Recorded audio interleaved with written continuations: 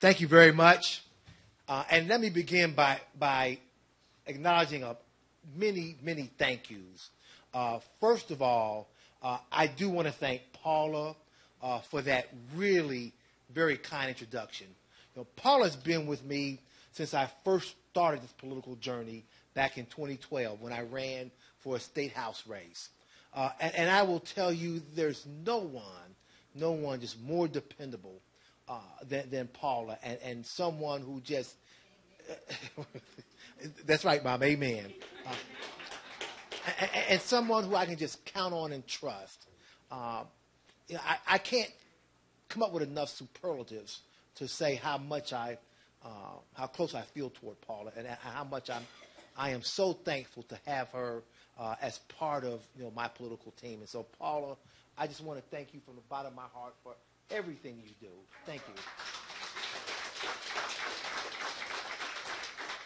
I want to thank my campaign manager, Leo Haggerty, who did a tremendous job under really impossible odds. I mean, I think we, we have to acknowledge that this was a tough race from the very beginning.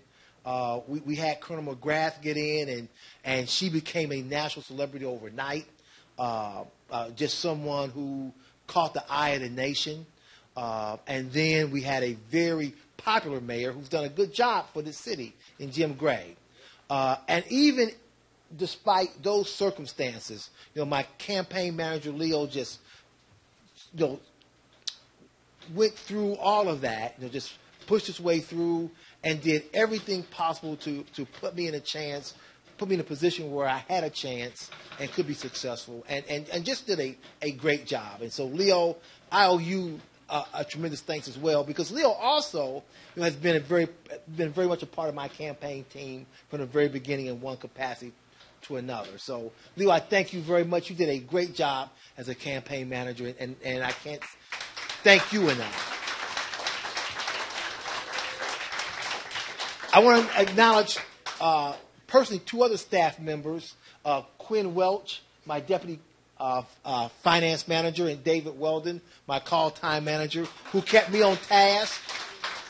Uh, and again, just helped me constantly, day in and day out for the last 11 months, uh, do all I need to do again to try to put myself in a position to win. So, Quinn and David, thank you again for all of your help. Thank you. And then all of you uh, volunteers, uh, you know, who you know I would see every day, who was who were always there, making phone calls, writing letters, um, putting together envelopes, stuffing envelopes, reading emails, answering emails. You know, there are really too many of you to name, and I and I want to tell the public that I had a tremendous array of volunteers.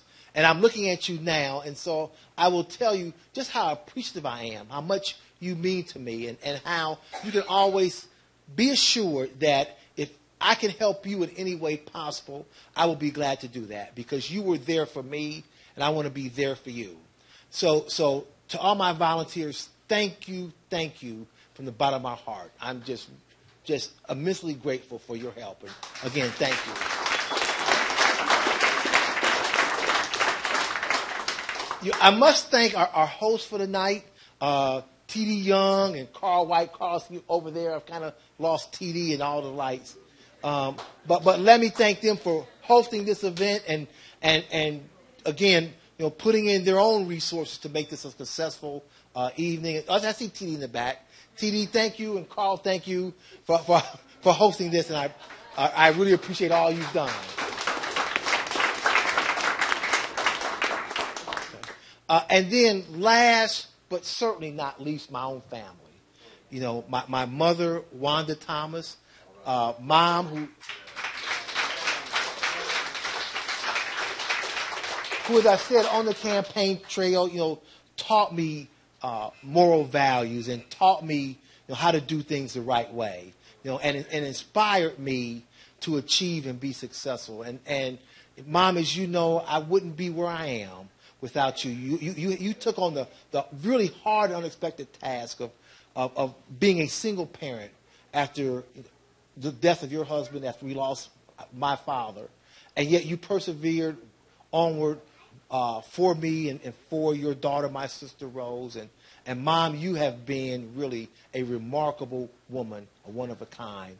And so thank you, mom.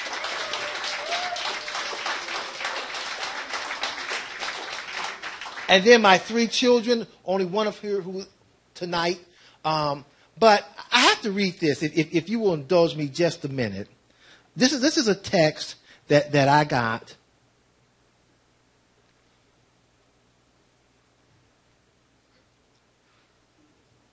Oh, don't tell me I lost it. I've, I've gotten so many texts today. But my son sent me a text, and let me paraphrase this. He said, Dad, we love you. You, you have been a wonderful role model for us. Uh, we're so proud that you've run this race. No matter what, no matter what the outcome, Dad, the fact that, that you got into this race makes you victorious uh, and a winner in our, in our sight.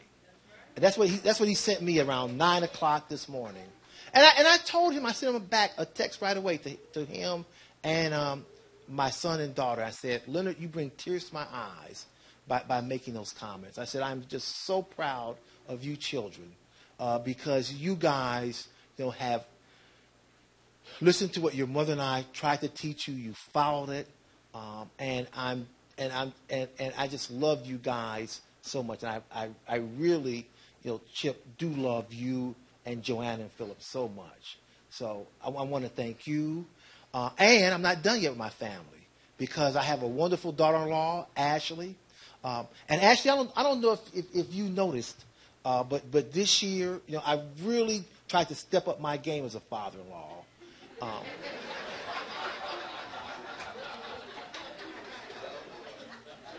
uh, and, and, make it clear how much actually I love you.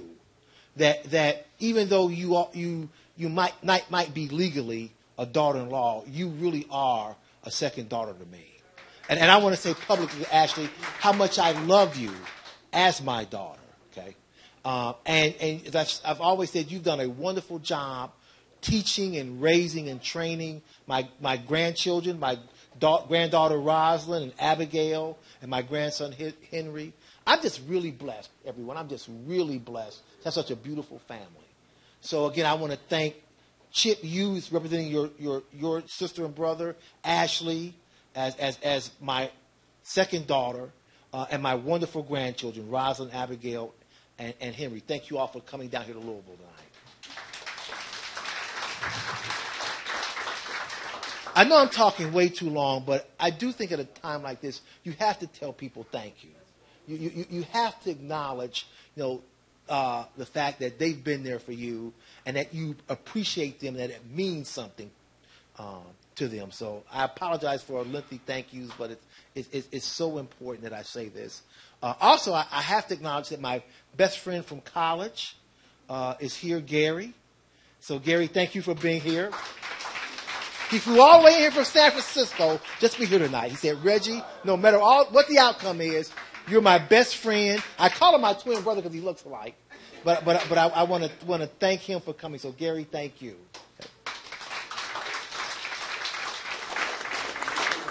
Being an elected official and being in the legislature, I have to acknowledge a couple of colleagues of mine who are also friends, in the real sense of friends who are here tonight.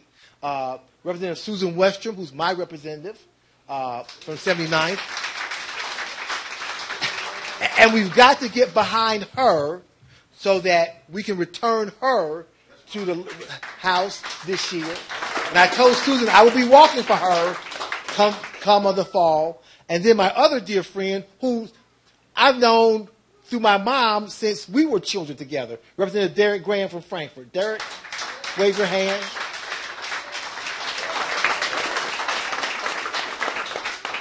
We got, we have to get behind and support them because they do represent us. And I do mean us. Not if they don't represent us in the district, they represent us in terms of our interests, you know, what we value, what we think is important. Susan and Derrick do represent us. And so we have to support them because they support us. And that really leads me into my, my final commentary, and then I'm going to, to sit down. And that is that. no, I don't think I don't think so. I don't think so. But this campaign really was about you, about us, uh, and the fact that you know we have to, as Americans, stand up and say that what we see now, you know, in light of our president, in light of our Senator Mitch McConnell, in light of Andy Barr, who defers and and and follows in lockstep everything they do, we have to change that. We have to change that uh, because America is really going in the wrong direction. Uh, and, and if we don't do something soon, we will not have a country that not, not only we will no longer be proud of, but that our children and our grandchildren will, will not have the opportunities and dreams that we have had. That's why I got in this race, because I looked at what was happening with Donald Trump and Andy Barr, and I said, something's got to change here. And maybe I can be that change. You know, as we found out tonight, I won't be that change. But I do want to be part of that change. Okay? And I respect our democratic process. I respect our democracy. And what I don't want to see is us lose that democracy. And if we don't step forward, we will lose that democracy, people. And I know I'm being, this is being aired publicly, but I'm going to tell you, there are those on the other side that don't want us to have a democracy. Okay? Uh, and, and, so it doesn't have to be me. You know, it, we don't know who the outcome will be. It may be Colonel McGrath, it may be Mayor Gray, but we have to step forward and be a part of that group that says, no, you will not prevail in your efforts to defeat the freedoms and, and the rights we enjoy as Americans.